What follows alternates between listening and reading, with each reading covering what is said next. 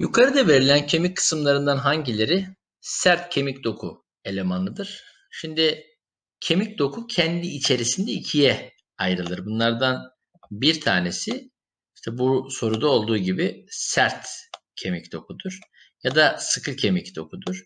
Bir diğeri ise çocuklar e, kırmızı kemik iliğin içerisinde incelendiği süngerimsi dokudur. Süngerimsi dokudur. Şimdi sert kemik dokuda iki tane kanaldan bahsedeceğiz. Bunlardan bir tanesi Havers şöyle diklemesine, diğeri Volkmann kanalları şeklinde. Her ikisinde de kan damarları ve sinirleri bulabiliyorsunuz, gözlemleyebiliyorsunuz. O zaman sert kemik doku elemanları kimdir derseniz işte 1 ve 3. öncülde yazan kanallardır. Dolayısıyla cevabımız Ceyhan seçeneğidir. Verilen bilgilerde numaralandırılan kısımlara aşağıdakilerden hangisi getirilmelidir? Uzun kemiklerin baş kısmında bulunan bla bla kemiklerin boyunu uzamasını sağlar. Şimdi şöyle düşünün. Bir uzun kemik düşünün şöyle. Şöyle. Şöyle alalım.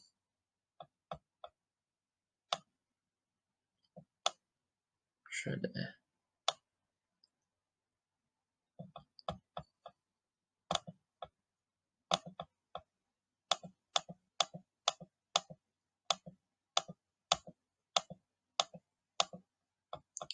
Şuraya bir de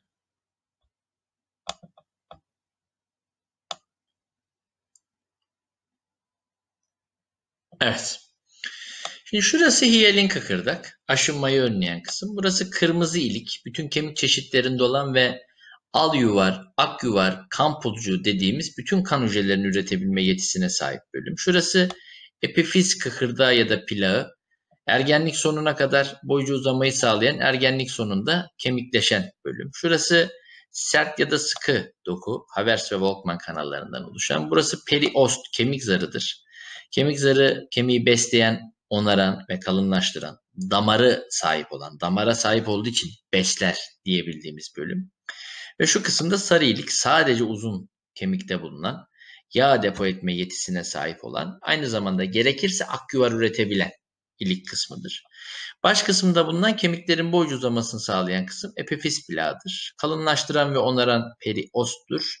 Sadece uzun kemikte bulunan da sarı iliktir. Onun için de cevabımız Ankara seçeneğidir. İnsan vücudundaki kas sistemi olaylarından hangilerini sağlamaktadır? Vücut şeklinin oluşması zaten kas sistemi dediğiniz zaman destek hareket sisteminin bir elemanı tabii ki şekli oluşturacak. Şimdi e, öğrencilerin çoğu yanlış şöyle yapmış. Yalnız bir. 2 ve 3 ile ne alakası var? Bahsedelim. 3 ile devam edeyim önce. Bakın arkadaşlar çizgili kaslar kasıldığı zaman damar çapını daraltır ve toplar damardan kana aktarılan kanın akış hızını arttırır. Burası geldi.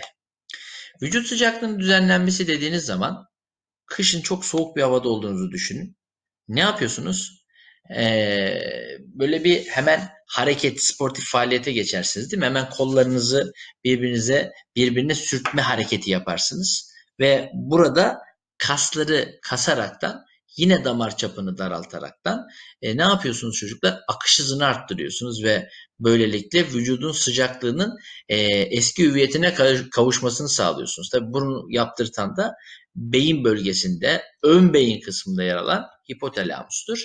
Cevabımız Edirne seçeneği. Aşağıda verilen kemik çeşitlerinden hangisi yassı kemik çeşidi değildir? Kürek kemiği yassıdır. Kaburga kemiği yassıdır. Kalça kemiği yassıdır. Kafatası kemiği yassıdır. Çene kemiği değildir. Arkadaşlar bu yassı kemikler hani şu şekilde olan kemiklerden bahsediyorum. Dört seçeneğin dördü de bu şekildedir. Dolayısıyla da cevabımız Erzurum.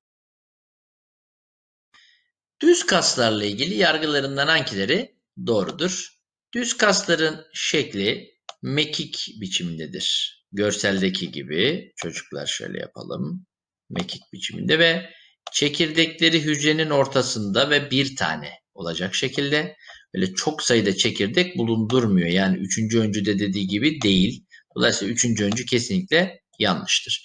Yavaş mı çalışır? Evet yavaş çalışır.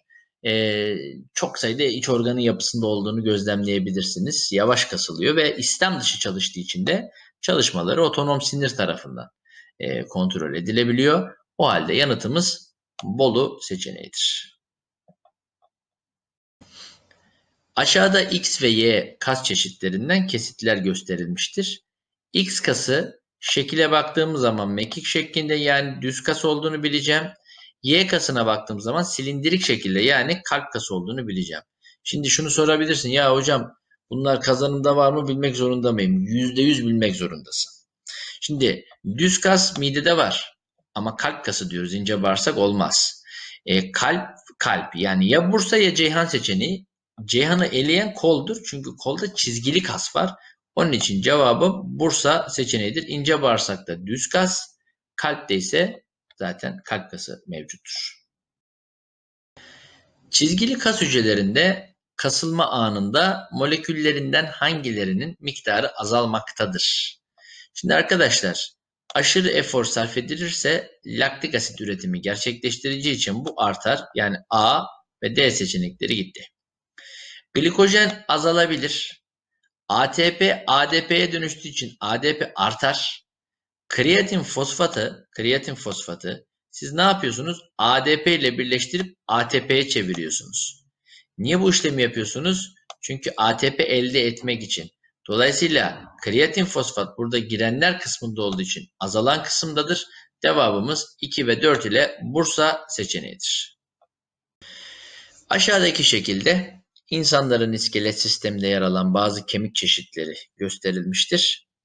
X, Y, Z ve T'den bahsediyoruz. X omur, Y kalça, Z bacağa ait, T de bileğe ait kemikler. Yani yukarıdan aşağı doğru düzensiz şekilli, yassı, uzun ve kısa kemikler olarak sınıflandırabilirim.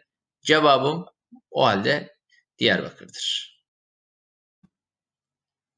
Kasılma anında kasın özelliklerinden hangilerinde değişiklik meydana gelmez? Bakın hacim ve kütle ister kasılma anı olsun ister gevşeme anı olsun hiçbir şekilde değişmez. Fakat boy değişir. Kasılma anında boy kesinlikle ve kesinlikle azalır. Gevşeme anında ise boy artar. Değişen bir şey daha söyleyelim. Kalınlık. Kasılma anında çap artar. Gevşeme anında çap azalır. O zaman burada değişmeyenler 2 ve 3 ile denizli seçeneğidir. İskelet kaslarını kemiklerine bağlayan, kemiklere bağlayan kısımlar aşağıdakilerden hangisidir? Arkadaşlar direkt tendon diyebilirsiniz. Şöyle hemen işaretleyelim. Ligament iki kemiği birbirine bağlayan bakın şöyle düşünün. Kemik 1 olsun burası. Kemik 2 olsun şöyle. Ligamentler burada arkadaşlar şöyle. Bağlar şeklinde. Hani deniyor ya işte ön çapraz bağları kopan sporcu sahalardan işte belli bir süre uzak kalacak. İşte ligamentlerin kopması. Periost kemik zarıdır. Epifiz plağı bu ergenlik sonuna kadar kıkırdak halde bulunan boycu uzamayı sağlayan kısımdır. Sarkomer ise iki tane Z çizgisi düşünün kasta, çizgili kasta. Bu Z çizgilerinin e, arasında yer alan bölüm olarak geçiyor. Cevap Bolu'dur. Aşağıdaki şekilde uzun kemik yapısı gösterilmiştir. X ve Y ile gösterilen kısımların isimlendirilmesi aşağıdakilerden hangisinde gösterilmiştir? Arkadaşlar X bölümüne baktığınız zaman kırmızı iliği içeren süngerimsi dokunun olduğunu gözlemliyorsunuz. Y tarafına baktığınız zamansa en dışta yer alan kemiği besleyen, onaran ve kalınlaştıran zar yani perios kısmı olduğunu görüyorsunuz. O halde yanıtımız Ankara'dır.